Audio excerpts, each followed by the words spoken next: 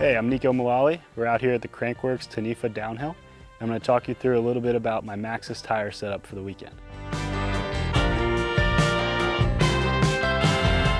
So this is my Frameworks Racing prototype downhill bike. This is the custom bike that I designed and had built for me.